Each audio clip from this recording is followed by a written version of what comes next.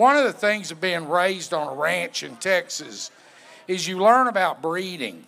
You learn about breeding livestock, you learn about breeding horses.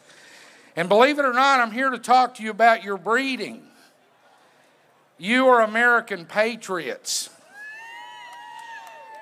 You came from those incredible bloodlines of Thomas Jefferson and George Washington and John Smith and all these great Americans and Martin Luther King, these great Americans that built this country.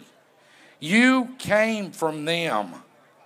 And a unique thing about being from that part of the world, when you learn about breeding, is you learn that you cannot breed Secretariat to a donkey and expect to win the Kentucky Derby.